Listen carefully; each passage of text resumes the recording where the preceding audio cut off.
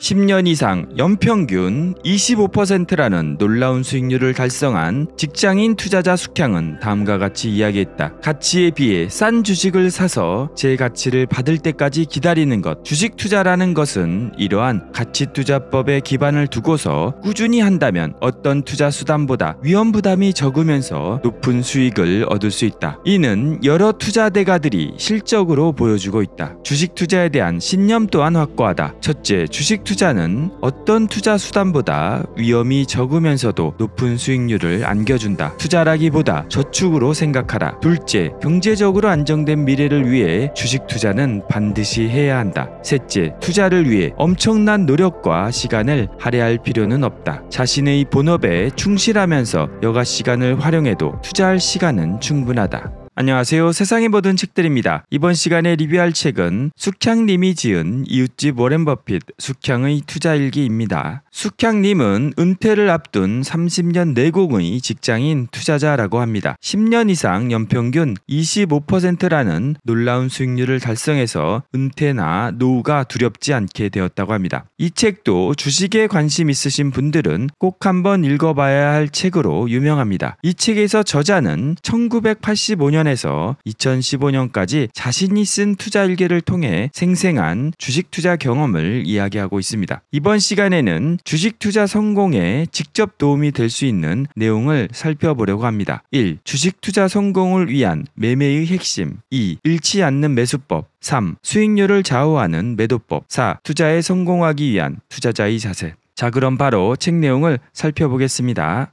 1. 매매의 핵심 매도는 수익률을 결정하지만 매수는 수익을 결정한다. 그래서 여기는 주식의 적정가는 어떻게 판단하는가 내재가치 계산법에 대해서 설명하고 있는데요. 요건 조금 이따가 살펴보겠습니다. 매매에 임하는 자세. 거래량이 적은 중소형주에 주로 투자하는 저는 일반적인 경우와는 다른 매매 기회를 활용합니다. 이 생각은 벤저민 그레이엄이 시장을 뒤흔드는 매력적인 존재인 미스터 마켓의 조울증을 이용하는 것과 일맥상통합니다. 현명한 투자자에 나오는 벤저민 그레이엄의 말입니다.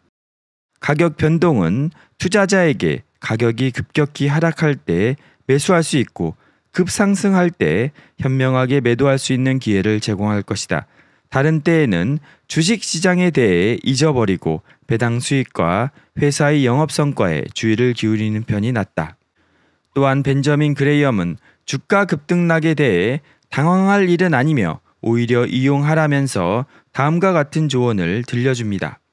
안전한 주식으로 포트폴리오를 구성하고 있는 투자자는 그 가격이 변동할 것을 예상하고 있어야 하며 큰 폭의 가격 상승에 흥분해서도 안 될 것이고 큰 폭의 가격 하락에 대해서 우려해서도 안 될 것이다.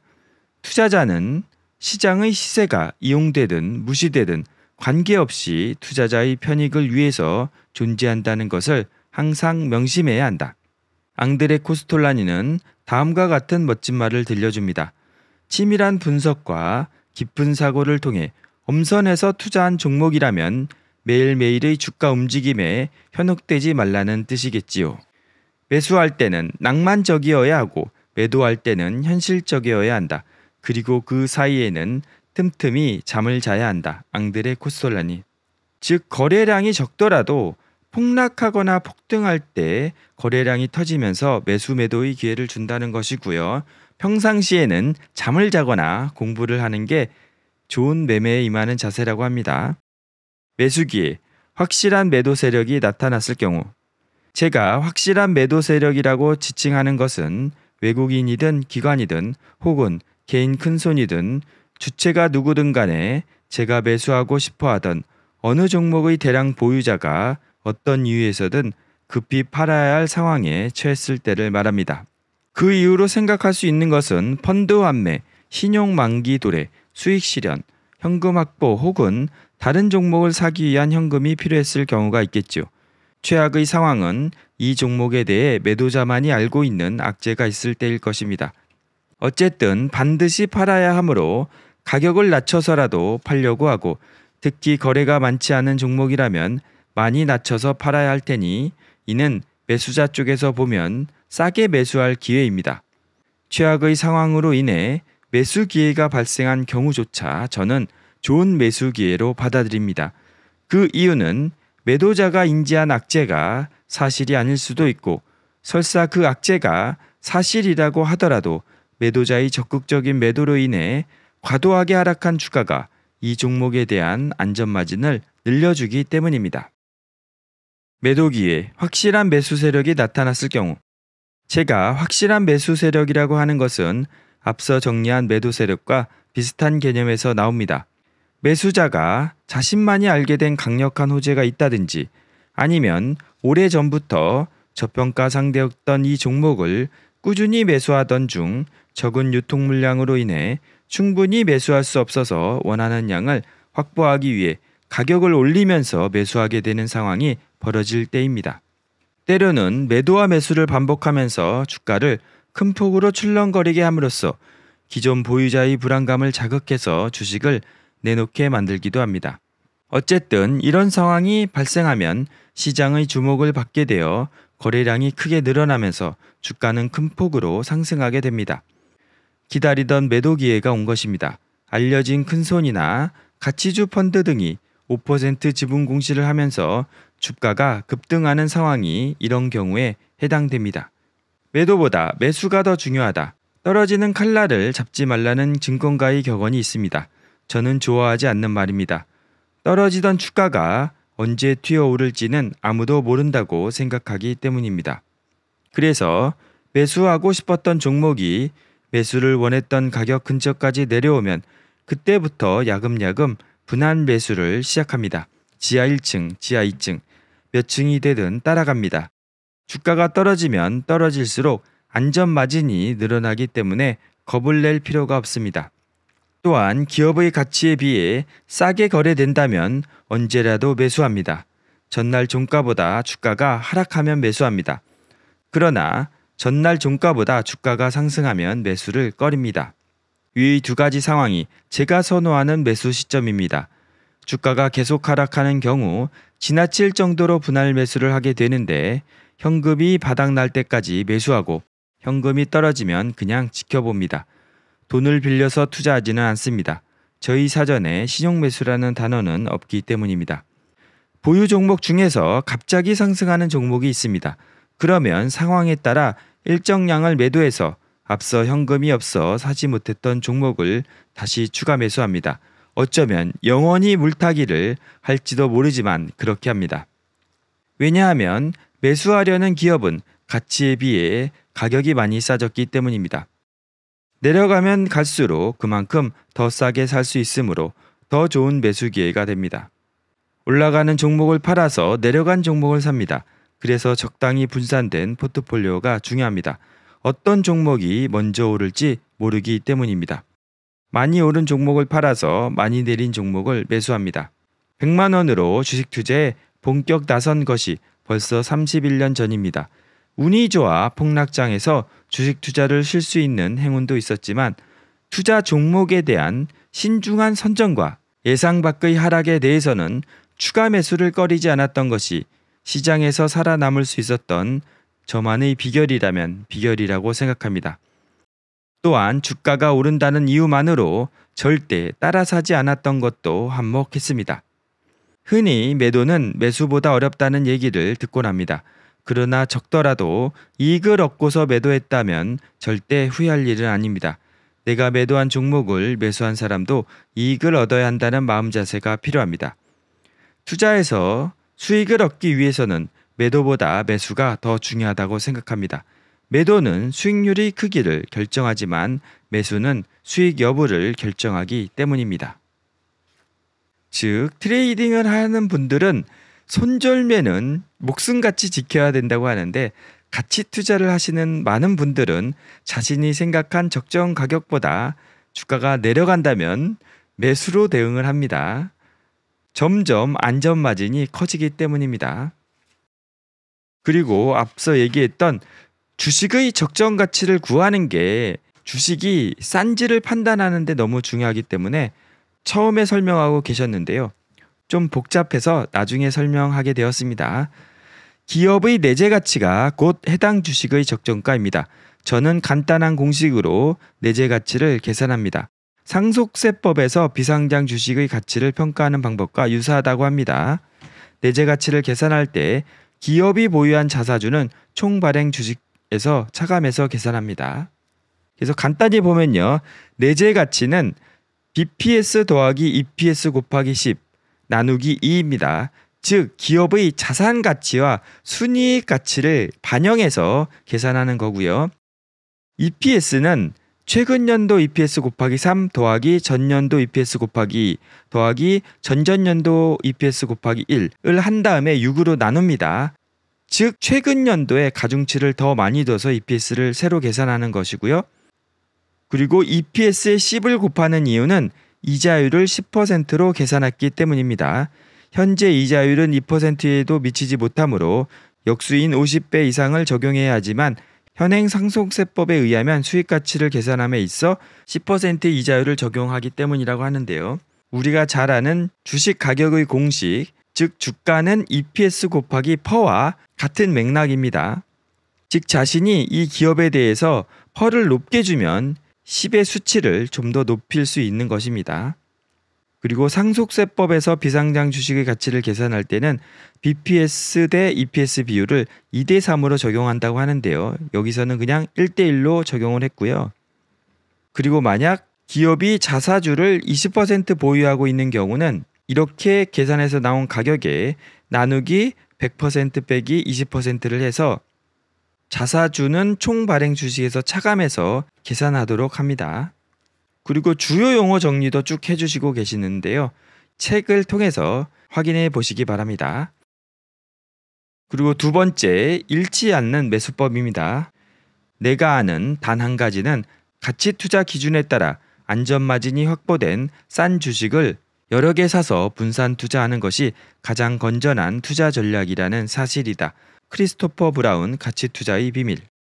투자할 기업을 선정할 때 고려하는 네 가지 요건. 1. PER이 10 이하일 것. 2. PBR이 1 이하일 것. 3. 배당 수익률이 은행 정기예금 금리 이상일 것. 4. 순현금 기업일 것. 즉 현금을 가지고 있는 기업, 내부에 돈을 쌓아두고 있는 기업을 이야기하는 것입니다. 안정성이 높다고 합니다. 실제 적용에 있어 1과 2 수치를 합쳐서 응용하는 방법이 있습니다. PER이 워낙 낮은데도 PBR이 높아서 투자 대상에서 제외될 경우가 있을 수 있는데 이런 경우 두 수치를 합쳐서 10 이하가 나오면 대상으로 하기도 합니다. PER이 5, PBR이 2인 경우라면 PER이 10, PBR이 1과 동일한 수치로 계산됩니다. 다만 이런 경우 저는 PBR 1 이하의 기업을 더욱더 선호합니다. PER과 배당 수익률의 경우 과거 수치가 중요합니다. 일관성을 따지는 건데요. PER이 계산되기 위한 원천 자료인 EPS가 앞선 회계연도 기간 동안 꾸준히 늘어나고 있다면 최선이겠지만 비슷한 수준을 유지한다면 차선이 됩니다. 그러나 계속 줄어드는 추세라면 그 이유를 확인할 필요가 있습니다. EPS가 계속 줄어드는 기업이라면 현재의 낮은 PER은 의미가 없는 수치입니다. 배당 수익률 역시 과거 회계 연도의 배당금과 배당 성향을 확인할 필요가 있습니다. 일정 배당 성향을 유지하면서 이익이 늘어나는 추세의 기업이라면 최선이겠지만 이런 기업은 고 PER 기업일 가능성이 높습니다. 제가 제시한 네 가지 기준에 들어맞는 기업은 대부분 정액 배당금을 지급할 가능성이 높은 기업입니다. 간혹 배당 성향을 높이거나 배당금을 매년 정액으로 늘려 나가는 기업을 발견하기도 하는데 바로 제가 원하는 기업입니다. 정액 배당을 지속하는 기업이지만 은행 금리에 비해 두 배 이상이면서 다른 세 가지 항목에 부합되는 기업이라면 충분히 투자 대상이 됩니다. 저는 네 가지 조건 중에서 배당 수익률을 가장 우선적으로 봅니다. 대개 배당 수익률이 높은 기업은 다른 세 가지 조건을 충족시키는 경우가 많기 때문이기도 하지만 대주주가 소액주주를 배려하는 마음이 가장 잘 나타나는 대목이 바로 배당이기 때문입니다. 투자를 하면서 가장 문제가 되는 것이 주주와 경영진과의 이해관계에서 나타나는 대리인의 문제인데 고배당은 이를 해소하는 수단이기도 합니다. 제가 제시한 네 가지 기준은 제 경험의 소산입니다. 최소한 이 정도의 기준을 충족하는 기업으로 포트폴리오를 구성하면 잃지 않는 투자는 물론 은행 금리 수준 이상의 수익은 보장되더라는 이야기입니다. 즉, 저자는 상당히 보수적인 기준을 적용하고 있고요. 은행 금리 수준의 두 배 이상만 얻으면 성공하는 투자라고 생각하기 때문에 손해 볼 확률이 정말 극도로 낮은 투자 방식인 것 같습니다. 그래서 투자를 저축으로 생각하고 꾸준히 하는 게 중요하다고 합니다. 매수할 때 유의사항 몇 가지. 위와 같은 조건에 들어맞는 기업을 선정했다면 이제 가능한 한 싸게 사는 일만 남았습니다. 저는 항상 분할 매수를 합니다. 포트폴리오 한 종목을 10% 비중으로 편입하기로 마음먹었다면 처음 매수하는 날 3% 정도 매수하고서 이후 3번에서 4번 정도 나눠서 목표량을 채웁니다. 매도할 때도 같은 요령으로 분할 매도하는데 첫 주문 가격보다 높거나 낮아야 한다는 식의 다른 조건은 없습니다. 현금 비중을 어떻게 가져가야 할지에 대한 최선의 방법은 없다고 봅니다. 저는 각자의 성향에 달렸다고 봅니다. 올가의 영웅으로 유명한 피터 린치는 100% 주식 비중을 유지하면서 사고 싶은 종목이 나타나면 보유 종목 중에서 가장 매력이 떨어지는 종목을 매도하라고 말합니다. 또 벤저민 그레이엄은 주식 채권의 비율을 50대 50으로 하는 것을 기본으로 해서 시장 상황이 좋을 때는 주식의 최대 보유 비중을 75%까지 좋지 않을 때는 25%까지 낮출 것을 권고하고 있습니다. 그리고 저자는 무조건 주식 100%를 고집하던 과거와 비교한다면 달라진 면이 있다고 하는데요. 나이가 들면서 또는 투자 금액이 커질수록 일정 부분 현금 비중에 신경을 쓴다는 것입니다. 하지만 이론상으로는 항상 주식을 100% 유지하는 것을 최선으로 알고 있습니다. 미국 증시를 기준으로 나온 통계 자료에 의하면 투자 수익을 얻을 수 있는 기간은 총 거래일 중 7% 정도의 기간에 집중되므로 항상 주식을 보유해야만 이 구간을 놓치지 않는다고 합니다. 주가가 오를 때 주식을 보유하고 주가가 하락할 때면 주식을 매도해서 현금을 갖고 있다면 최고의 투자 수익을 얻을 수 있겠지요. 하지만 이것은 이론상으로나 가능한 것이고 현실적으로 인간의 능력을 벗어나는 희망사항일 뿐입니다. 이와 관련해서 유쾌한 투자자 앙드레 코스톨라니 말이 와닿습니다. 가격이 내릴 때 미를 가지고 있지 않은 사람은 가격이 오를 때도 역시 미를 가지고 있지 않다. 주가가 어느 정도 하락하면 바닥에서 사려는 욕심을 부리지 말고 매수하라는 뜻에서 한 말일 것입니다. 가치에 비해 싼 주식을 사서 주가가 내재 가치를 인정받는 수준으로 오를 때까지 참고 기다리는 제가 추구하는 투자 방식에도 적용이 가능한 말입니다. 평소 관심을 가지고 매수 기회를 엿보고 있던 종목에서 대량 매도와 함께 주가가 큰 폭으로 하락하는 상황이 나타나면 저로의 매수 기회로 활용합니다. 그런데 이런 경우 살짝 겁이 납니다. 내가 모르는 뭔가가 있는 게 아닐까 하는 두려움인데 이에 대해서는 이미 안전마진을 충분히 갖춘 종목으로 봐두었다면 매수를 꺼릴 이유가 없습니다. 이는 매수와 매도에서 공통적으로 적용이 될 수 있는 많이 오른 것만큼 큰 악재가 없고 많이 떨어진 것처럼 큰 호재도 없다는 증권가 속설과도 일치합니다. 오렌 버핏의 말처럼 스트라이크로 들어오는 공이라고 해서 무조건 배트를 휘두를 필요가 없는 것이 주식시장입니다.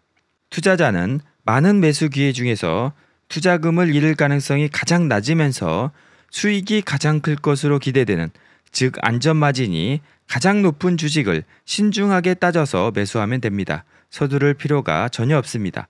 기본적으로 앞에 제시한 네 가지 조건에 부합하는 종목들로 포트폴리오를 구성하면 최소한 잃지 않는 투자는 완성되는 셈입니다. 그럼 이제 매년 수령할 배당금을 느긋하게 기다릴 인내할 수 있는 여유를 얻게 됩니다. 다시 말해 가치에 비해 싼 기업이 시장에서 제 가치를 평가받을 때까지 기다리면 됩니다. 이보다 안전한 투자법이 또 있을까요?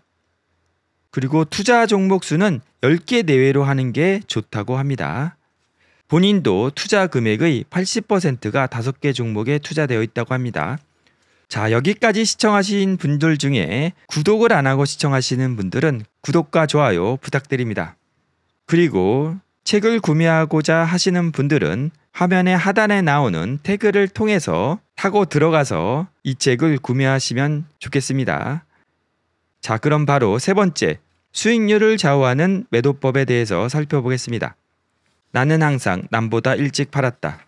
미국의 유명한 정치가이면서 또한 위대한 투자자인 버나드 바쿠르는 성공의 비결을 묻는 질문에 이렇게 대답했다고 합니다. 나는 항상 남보다 일찍 팔았다. 매도란 매수해서 보유하고 있던 기업을 시장에서 제 가치를 알아줄 때까지 인내하며 기다렸다가 바라던 결과를 얻는 투자 과정에 있어서 마지막 완성 단계입니다. 이에 앞서 투자할 만한 기업으로 눈에 띈 기업 중에서 좀 더 세밀한 조사를 통해 가치에 비해 싼 기업을 선정하고 투자금과 시간을 투자하는 전체 과정이 필요했음은 물론입니다. 워렌 버핏은 영원히 팔지 않을 기업을 매수하라고 했지만 이는 저를 포함한 대부분의 투자자로선 불가능하다고까지는 말할 수 없지만 대단히 어려운 투자법입니다. 널리 알려진 그래서 너무나 유명한 매도의 3원칙이 있습니다.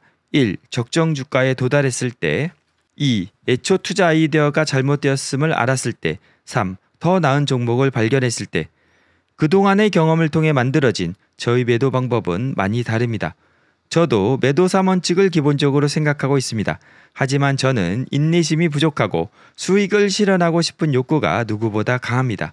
그런 성향의 저를 적당히 달래기 위해 원칙과 현실 사이에서 나름의 타협책을 찾은 것이지요. 나만의 매도 방식.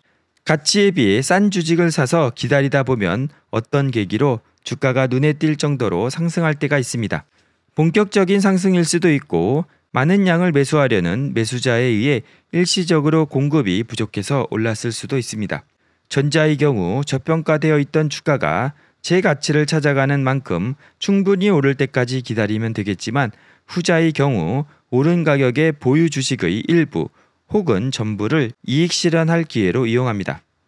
어떤 경우든 주가는 꾸준히 오르기보다는 오르내림을 반복하는 모양새를 보이는 것이 일반적입니다. 주가가 상승할 때는 본격적인 상승일지도 모른다며 최대한 기다리겠노라고 마음먹지만 오르던 주가가 방향을 180도로 돌려 내려서기라도 하면 일껏 얻은 수익을 몽땅 잃어버릴 것 같아서 마음이 조마조마해지는 것은 인지상정입니다. 투자의 고수도 우리와 똑같은 감정이네요. 일반적으로 주식시장이 화랑세일 때는 주가가 제 가치를 거의 찾아갈 정도로 상승하게 되는데 저는 이를 한 단계 레벨업이 된다고 표현합니다. 서둘러서 매도할 필요가 없는 경우입니다. 반면에 일정한 틀 안에서 시장 지수가 움직이는 소위 말하는 횡보 장세나 시장이 약세로 판단될 때는 보유 주식의 주가가 의미 있는 정도로 상승한다면 보유량의 일부를 매도합니다. 그런 다음 주가가 다시 하락할 때 앞서 매도한 수량만큼 재매수함으로써 원래의 보유량을 유지합니다. 보유 단가만 낮추는 매매를 하는 셈입니다. 횡보하거나 약한 시장에서는 대개 개별 주가가 일정 가격 구간에서 오르내림을 반복하는 것을 이용하는 것입니다. 이처럼 보유 단가를 낮춰주는 매매는 매력적이지만 제 경험으로는 성공 확률이 그렇게 높지 않으므로 자제할 필요가 있습니다. 그럼에도 인내심이 부족한 저는 자주 그런 형태를 반복하고 있습니다. 저도 이런 식으로 매도 매수를 하려고 시도는 해봤는데요. 아, 정말 어렵더라고요. 그래서 저는 그냥 보유하는 방법을 선택했습니다.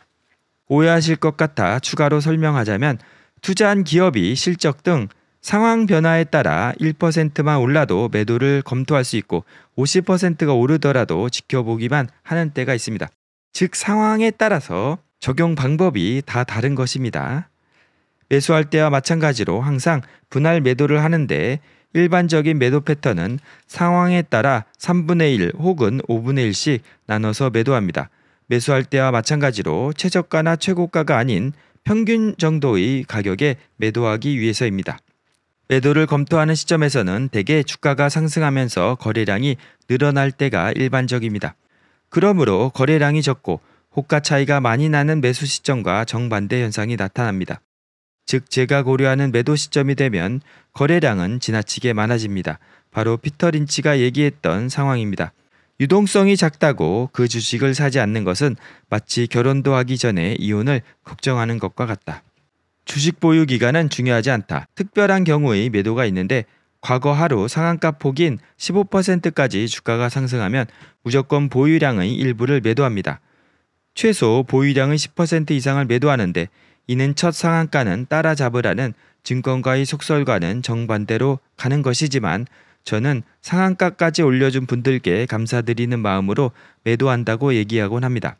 물론 팔고 난 후 지나치게 많이 상승하면 썩 기분이 좋지 않습니다. 얼핏 단기 매매로 보이는 저희 투자 스타일에 대해 저는 이렇게 재합리화를 하곤 합니다. 5년 보유해서 100% 이익을 얻는 것과 1년에 20%씩 5년 동안 수익을 얻는 것 가운데 어느 것이 더 쉬운가? 단순하게 표현했지만 저는 후자가 더 쉽다고 봅니다. 게다가 복리 수익률로 따지더라도 수익률이 더 높게 나오기까지 합니다. 지인들에게 항상 하는 말로 저희 투자법은 아직 그레이엄조차 벗어나지 못했다입니다. 그럼에도 우리 증시에는 그레이엄 투자 방식으로 매수할 만한 종목이 많기 때문에 투자할 종목은 널려 있다고 말합니다. 벤저민 그레이엄은 싼 주식을 사고서 50%쯤 오르면 수익을 챙기라고 했습니다. 또한 매수하고 3년이 지나서 특별한 상황이 발생하지 않았다면 매도하라고도 했습니다. 저는 보유 기간은 따지지 않습니다. 주가는 바닥에서 머물러 있지만 기업 가치는 계속 증가하고 있고 정기예금 이자 이상의 배당을 집행하는 기업이라면 내재 가치에 어울리는 주가에 도달할 때까지 계속 보유하려고 합니다. 즉 저자의 방식은 벤저민 그레이엄 방식에 좀 더 가까운 것 같습니다. 어떻게 보면 위대한 성장주가 별로 없는 우리나라에서는 이 방식이 더 적합할 수도 있다고 생각합니다. 이렇게 매매의 핵심, 매수법, 매도법을 살펴봤고요.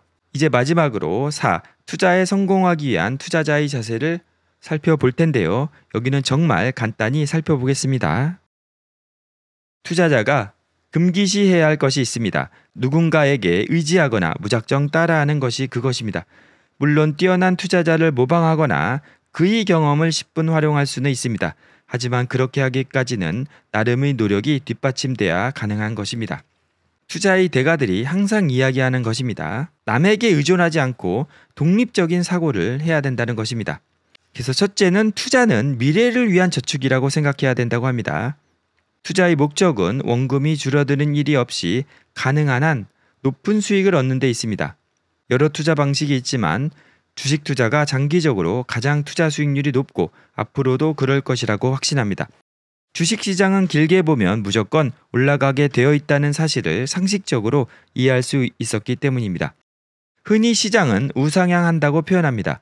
이에 대한 근거는 경제는 오리내림은 있을 망정 시간이 흐름에 따라 꾸준히 성장할 것이고 물가 역시 인건비 인상 등의 요인으로 상승하기 때문입니다. 기업에만 한정해서 보겠습니다. 경제가 성장하는 만큼 매출이 증가합니다. 또 상승하는 물가는 판매가 인상으로 흡수합니다. 결국 시간이 흐르면서 기업의 수익은 늘어나게 됩니다. 기업의 수익이 늘어나고 잉여금이 쌓이면서 기업의 가치 또한 올라가게 되겠죠. 그렇다면 당연히 주가도 따라서 오르게 되는 원리입니다. 즉, 주식 시장은 장기적으로 우상향하기 때문에 그냥 저축한다고 하고 좋은 기업을 사면 자연히 수익은 나게 되어 있다고 합니다. 그리고 두 번째는 많이 읽어라입니다. 투자자는 결국에는 자신의 경험을 바탕으로 스스로 일어서야 합니다. 투자를 잘하기 위해서는 스스로의 실력밖에 믿을 게 없기 때문입니다. 그러기 위해서는 많은 노력이 뒤따라야 합니다. 누구나 투자를 해나가다 보면 경험은 자연스럽게 쌓이게 됩니다. 또 개개인에 따라 차이는 있겠지만 자신이 투자한 기업이 어떤 사업을 하고 무엇을 만들어내는지 등으로 관심을 넓혀가는 한편 주가의 움직임을 살펴보기만 해도 얻을 수 있는 것이 있습니다. 중요한 것은 여기서 한 걸음 더 나아가야 한다는 것입니다. 보다 높은 수익을 추구하기 위해서는 많은 경험과 이를 보완할 공부, 배움이 필요합니다. 저자는 대가들의 지식과 경험을 배울 수 있는 독서가 실력을 늘리기 위한 최선의 방법이라고 합니다. 제시 리버모어, 짐 로저스, 윌리엄 오닐 같은 투자 대가들도 좋지만 처음 투자하시는 분들은 가치 투자의 대가들의 책을 읽는 게 좋다고 하고요. 그래서 벤저민 그레이엄, 필립 피셔, 피터 린치, 존 템플턴 등 많은 투자 대가들을 소개하고 있습니다. 그리고 투자자의 자세는 배우는 사람이 돼야 된다고 합니다. 투자자는 항상 배우려는 자세를 갖춘 사람이어야 합니다. 주식 투자를 하다 보면 시기를 잘 맞춰서 수익이 늘어난 때가 있는데 그러면 아, 자신이 이제 모든 것을 아는 것처럼 생각하는데 그때가 가장 위험한 때입니다. 항상 자신은 아무것도 모른다는 생각으로 배우는 것을 게을리하면 안 될 것 같습니다. 그리고 투자자의 자세 중 필요한 게 낙관적인 생각입니다. 투자자는 낙관적인 사람이어야 합니다. 투자의 대가들 모두가 한결같이 강조하는 것이 인내인데 인내하기 위해 전제가 되어야 할 것은 앞으로 다가올 미래가 지금보다 나을 것이라는 믿음에 있을 것입니다.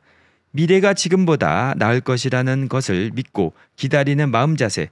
이것을 저는 낙관적인 마음가짐 혹은 낙천적인 성격에서 찾습니다. 하지만 냉혹한 현실을 직시하되 믿음을 잃지 말라는 낙관적인 자세가 필요하다고 합니다. 즉 근거 없는 낙관이 아니라 냉철한 판단하에서 낙관적인 생각을 해야 된다는 것입니다. 즉 기업의 내재 가치에 비해 현저하게 싸게 거래되는 주식을 사서 보유하고 있으면 언젠가는 시장에서 그 기업의 내재 가치에 어울리는 수준까지 주가를 올려줄 것입니다. 우리가 반드시 그렇게 될 것이라는 믿음을 갖고서 인내하며 기다릴 뿐입니다. 즉, 기다릴 때는 내재 가치에 비해 현저하게 싼 주식을 갖고 기다려야 되는 거지. 엄청나게 고평가된 기업을 사고 언젠가는 오를 거야 라면서 기다리면 안 되는 것입니다. 그리고 미래는 많은 투자 대가들이 얘기하듯이 예측을 할 수 없다는 것입니다. 그래서 미래 예측은 큰 관심사항이 아니라고 합니다. 자, 이렇게 숙향님이 지은 이웃집 워렌 버핏 숙향의 투자 일기의 리뷰를 마치려고 합니다. 이 책은 총 7장으로 구성이 되어 있는데요. 1, 2, 3장은 30년간의 저자의 투자 기록을 이야기하고 있는데 여기가 정말 재밌거든요. 여기는 꼭 읽어보시기 바라고요. 요번에 제가 다룬 내용이 나만의 실전 투자 지침 내용을 주로 다룬 것입니다. 그리고 투자자의 자세는 이 5장을 약간 정말 간단하게 봤고요. 5, 6, 7장도 너무나 좋은 내용이기 때문에 이번 시간 내용이 관심 있으신 분들은 이 책도 꼭 읽어보시기를 강력히 추천드립니다. 이번 시간 영상이 도움이 되셨거나 다음 시간 영상이 기대가 되신다면 좋아요와 구독, 알람 설정 부탁드리겠습니다. 그리고 책 내용이 좋고 이번 시간에 소개한 내용도 너무나 좋기 때문에 여러분들에게 추천과 공유 부탁드리겠습니다. 그리고 아쉽게도 이 책이 구매 태그가 붙지 않아서 숙향님의 또 다른 책, 숙향의 주식 투자 이야기 책을 태그로 달아놨으니 이 책을 구매할 때 참고하시기 바랍니다. 긴 시간 동안 시청해 주셔서 감사하고요. 다음 시간에도 꼭 좋은 영상으로 다시 찾아뵙겠습니다. 감사합니다.